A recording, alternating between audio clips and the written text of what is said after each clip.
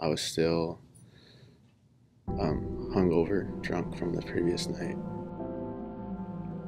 I was still unsure why I was there, and when I was told what was happening, I was I was in disbelief.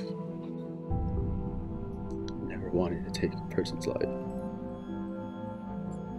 It's just a very horrible feeling, and it just takes the air out of you. I don't wish that feeling upon anybody.